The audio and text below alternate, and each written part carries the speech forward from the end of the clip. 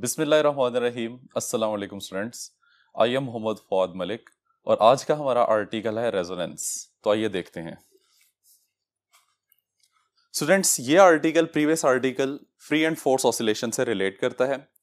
Previous article में हमने describe किया था कि एक ऑसिलेटिंग सिस्टम के ऊपर एक्सटर्नल फोर्स ना लग रही हो तो उसको हम फ्री ऑसिलेशन का नाम देते हैं।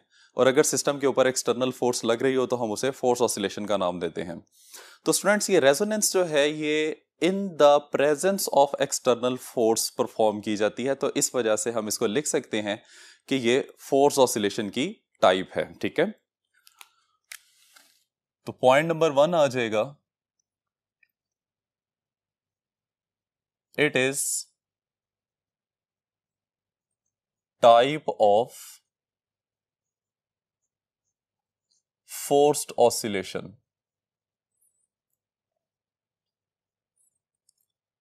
अब स्टूडेंट्स इसमें जो हम एक्सटर्नली फोर्स यूज़ कर रहे होते हैं, वो एक स्पेसिफिक टाइम इंटरवल के बाद सिस्टम पे अप्लाई की जाती है। तो इसके लिए हम लिख सकते हैं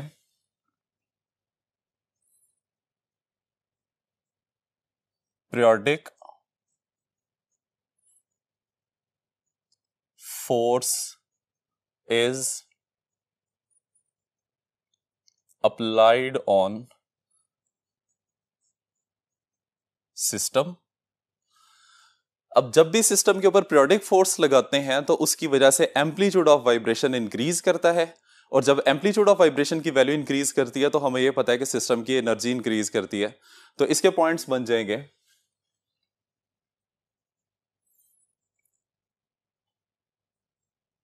एम्पलीट्यूड ऑफ़ वाइब्रेशन इंक्रीजेस और number four at resonance.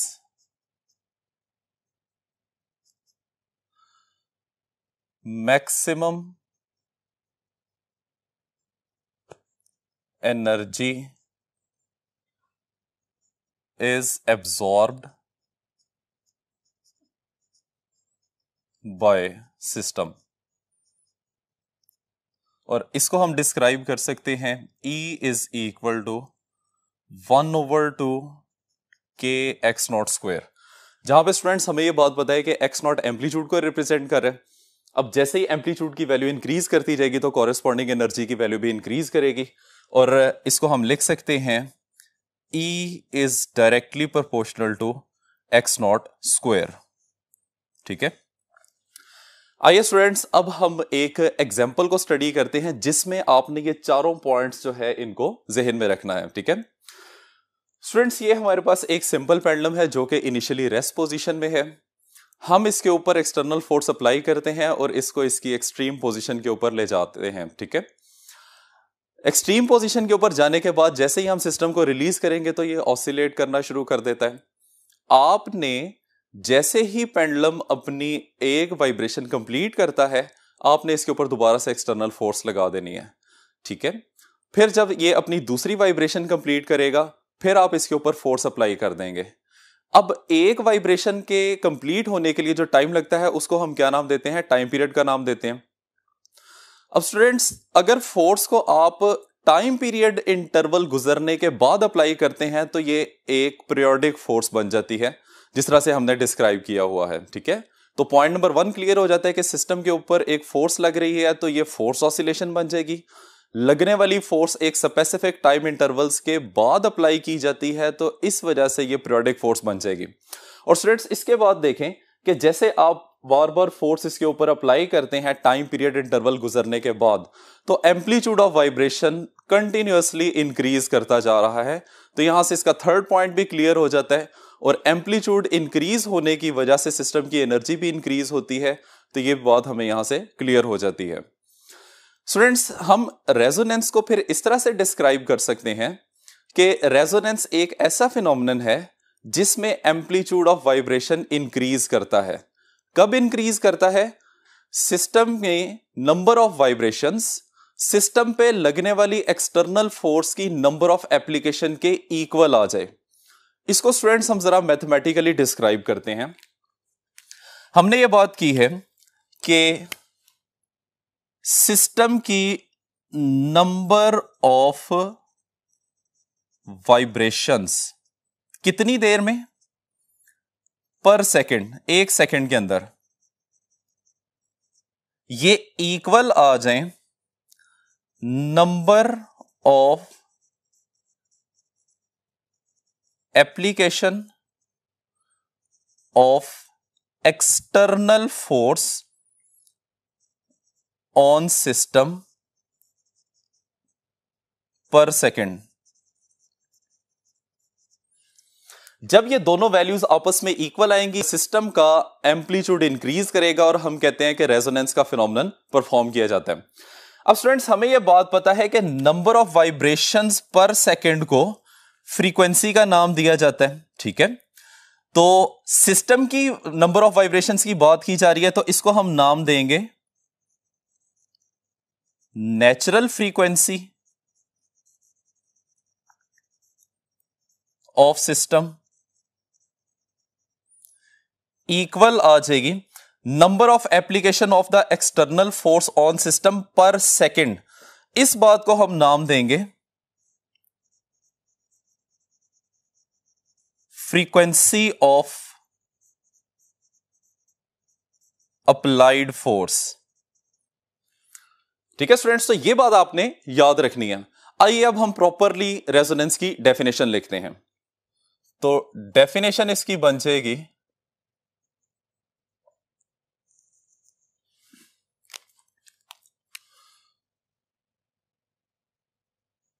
The phenomenon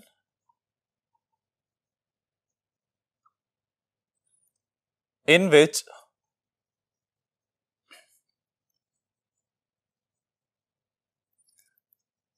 amplitude of vibration increases. When frequency of applied force becomes equal to 1 of natural frequency of harmonic oscillator ठीक है स्टूडेंट्स तो ये इसकी डेफिनेशन बन जाएगी। रेजोनेंस वो phenomenon है जिसमें एम्पलीट्यूड ऑफ़ वाइब्रेशन इंक्रीज करता है। कब इंक्रीज करता है? जब ये कंडीशन सेटिस्फाई होती है। क्या कंडीशन है? कि जब frequency of applied force equal आ जाए सिस्टम की किसी एक नेचुरल फ्रीक्वेंसी के। अब किसी एक नेचुरल फ्रीक्वेंसी से मुराद ये है कि आप मल्टीपल ऑफ़ फ्रीक्वेंसीज जो है वो ले लें। वन टाइम्स हो टू टाइम्स हो थ्री टाइम्स हो तो उसके किसी वैल्यू के इक्वल आ जाए। तो इस सिचुएशन में रेजोनेंस परफॉर्म होती है, ठीक है? अब स्टूडेंट्स इसको हम एक और एग्ज़ाम्पल से डिस्क्राइब करते हैं।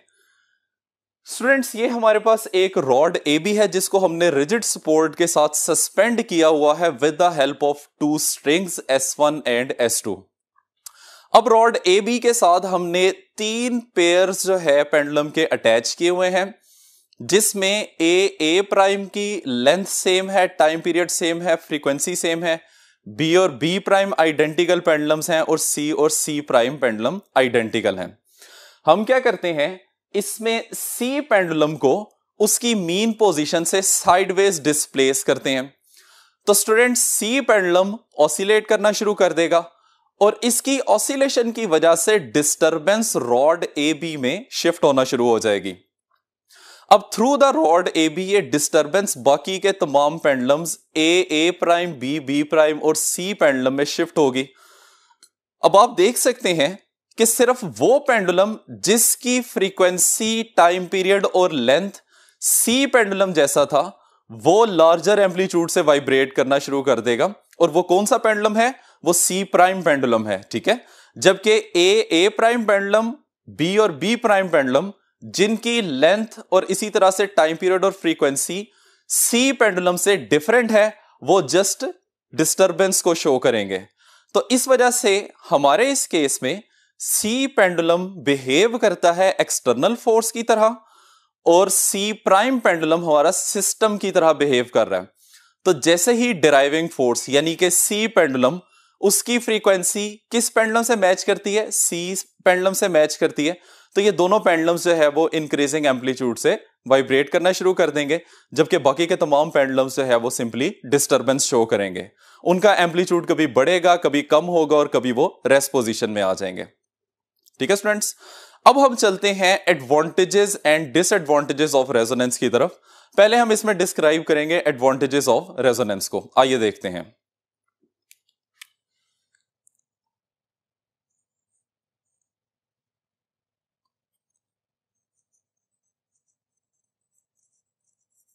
एडवांटेजेस ऑफ़ रेजोनेंस स्टूडेंट्स इसमें सबसे पहले हम बात करेंगे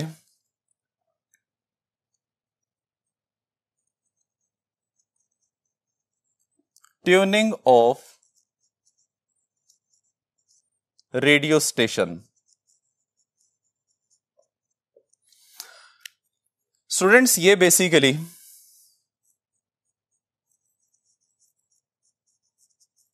इलेक्ट्रिकल रेजोनेंस की एग्जांपल है।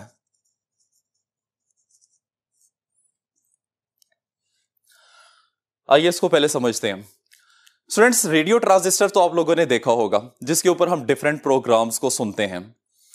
अब अगर आपने कोई एक खास प्रोग्राम सपोज़ कर ले, हम एफएम की बात करते हैं, जिसके डिफरेंट चैनल्स होते हैं F M one hundred F M one O one F M one O three तो पहले हम इसको डिस्क्राइब करते हैं कि इन नामों से क्या मतलब बनता है।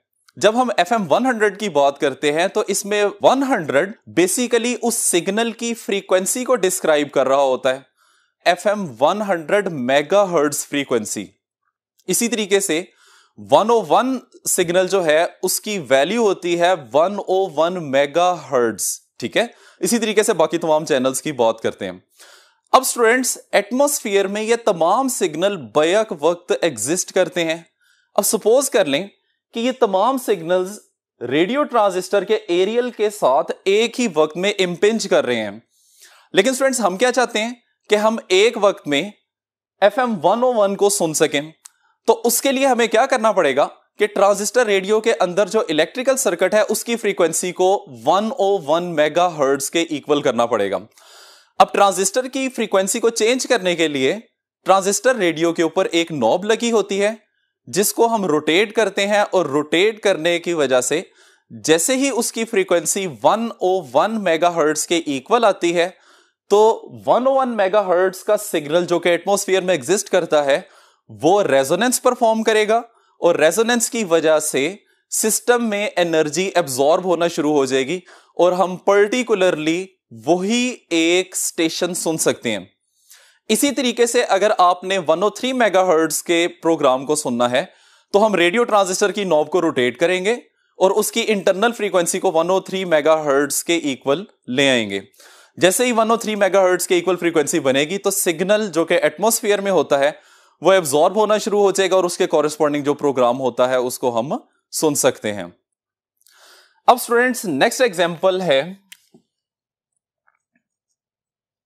that is heating of food in microwave oven students ये एग्ज़ाम्पल है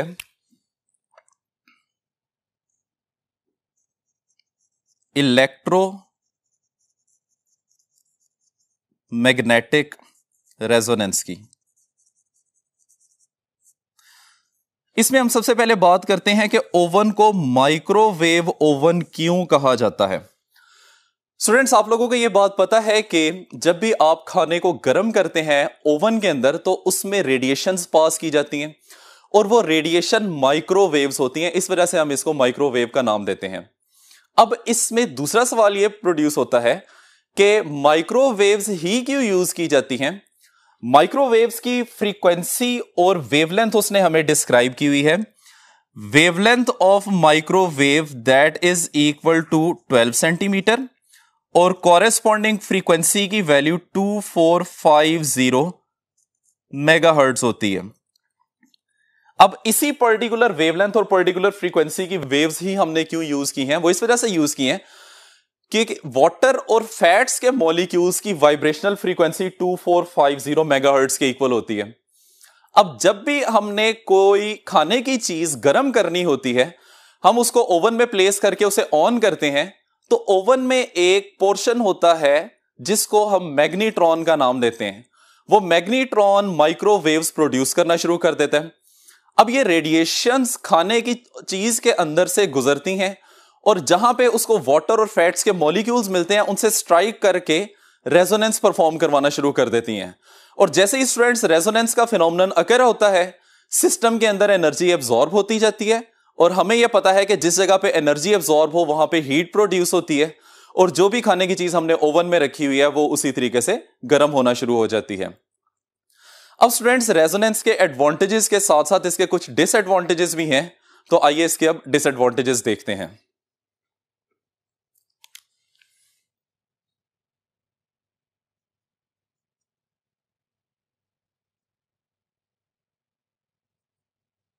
Disadvantages of रेजोनेंस इसमें सबसे पहले हम बात करेंगे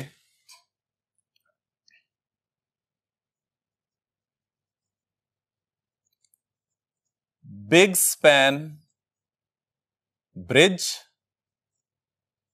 and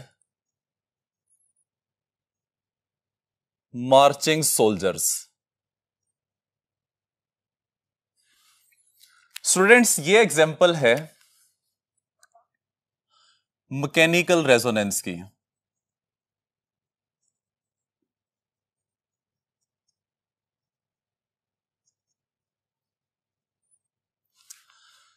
स्टूडेंट्स इस एग्ज़ाम्पल को समझने के लिए हम पहले ये बात पे गौर करते हैं कि हम ज़मीन पर किस तरह से चलते हैं। स्टूडेंट्स आप लोगों ने थर्ड लॉ ऑफ़ मोशन में ये बात पढ़ी हुई है। कि जब भी हम चलते हैं तो हम ज़मीन पे नीचे और पीछे की तरफ़ फोर्स लगाते हैं। जबकि ज़मीन हम पे ऊपर और आगे की तरफ़ फोर्स लगाती है, जिसकी वजह से हम मूव करते हैं। अब इस सारे सिनेरियो में आपने सिर्फ़ एक बात जहन में रखनी है कि चलते हुए हम ज़मीन पर फोर्स लगाते हैं। अब स्टूडेंट्स इसी बात को हम अप्लाई करते हैं अपनी एग्ज़ाम्पल के ऊपर।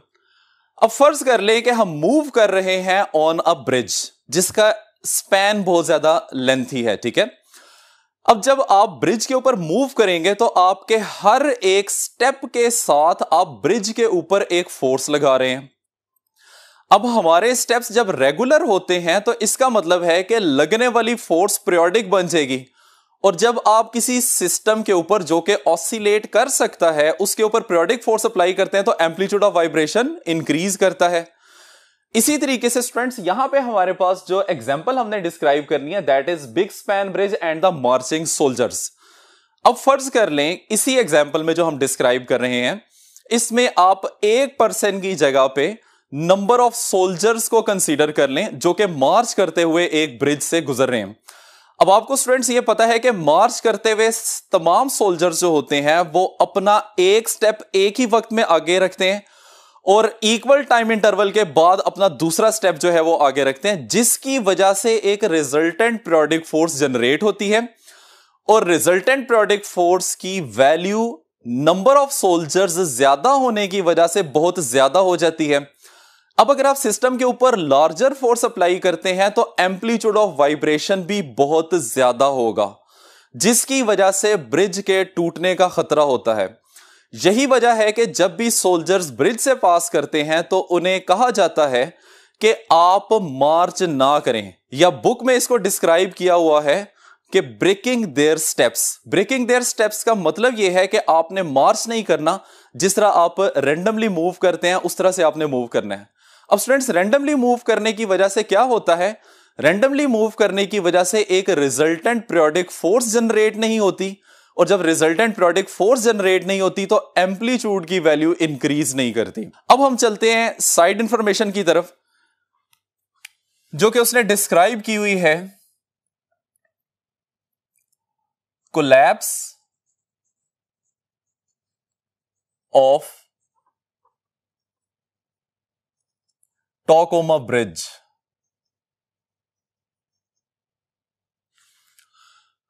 ठीक है स्टूडेंट्स अब इसके लिए आप ये फुटेज देखिए।